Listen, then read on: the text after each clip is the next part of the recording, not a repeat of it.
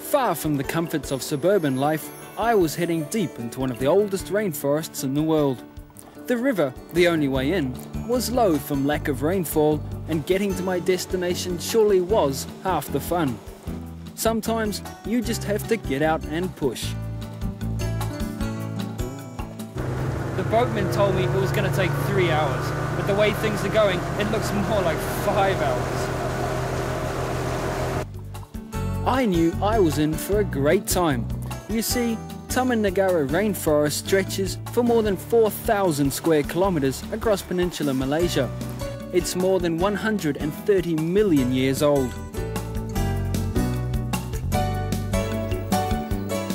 I'd been told this jungle was home to a myriad of plant and animal life, and I could well believe it. Having just begun to imagine what I might bump into, we reached our jump off point, a little wet, but with a taste for adventure.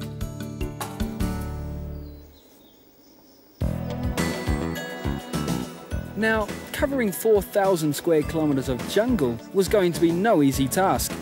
To my relief, I found out I wouldn't have to. Everything I wanted to do was easily reached from my hotel, which was in fact the only hotel in these parts. Opened in 1990, Taman Negara Resort is an ideal base from which to explore this natural paradise. Accommodation is in Malaysian-style chalets, there's also a hostel and even a conference hall. Oh, we have a basic um, comfortable. We believe we, we in comfort, basic comfort of the guests.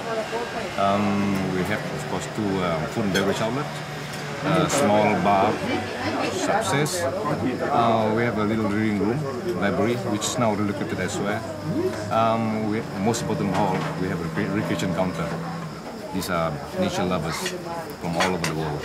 But uh, we we have been well known from from uh, from the early 90s in Europe. As you can see, most of them here are Europeans. But we need to get guys from New Zealand, Australia, Japan, America, Canada, from all over now. In order to get a feel for my surroundings, I opted first for the canopy walk. At least I wasn't likely to bump into too many spiders up here. I hoped. If you're scared of heights, this is definitely not the place. I'm 42 meters above ground level, and it's the highest point on the canopy walk. The view was great. With the walkway stretching for over 400 meters, there was plenty of time to enjoy it. How was it? Good? Oh, it was a scary feeling just over there. It was nice, great. You do it again? Yes, I will do it again, mm -hmm. definitely. Great. but it's really scared. It's pretty high, isn't it? Oh, it's pretty high. Back on terra firma, it was time for some cave exploration.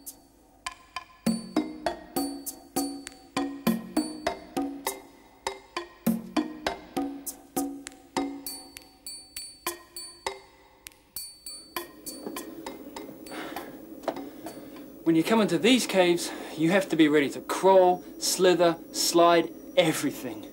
If many people in the cave about one hour or one and a half hours, we have to stay inside the cave. Yeah, it's not very long, around uh, 70 or 80 meters only inside, but difficult, slippery. There's no better way to get closer to nature than to simply surround yourself with nature. In Taman Negara, that's precisely what you do. It seems one of the forest's residents was here not long ago.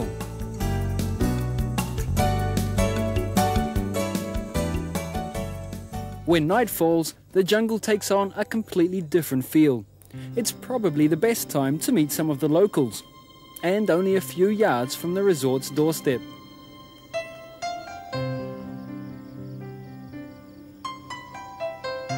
Normally, you'd never see me out here alone, but with my guide, I felt quite safe. I am, however, convinced it gets even hotter here at night.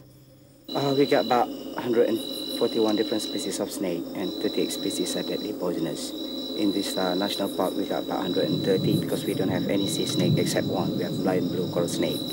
We have many different species of viper, uh, krait, at least about three different species of cobras and just one species of uh, sea snake. What about the the spiders? Uh, we have many different species of spiders, and most of our species they have a poison, uh, but they depend to the species. We have two nasty species. One we call uh, we call bird-eating spiders. They're very huge. They can grow about eight to nine inches, and another one we call huntsman. They can grow about five inches. On and off, we do get shepherds, foxes, hornbills coming into, into this very restaurant, only to be to be taken away by the wildlife officers because they sometimes disturb the guests. There are many activities here for the adventure seeker in all of us. Wildlife encounters, mountain treks, river rafting. One is spoiled for choice. It's not hard to see why Taman Negara is one of Malaysia's top tourist destinations. I, for one, will definitely be back in search of more adventure.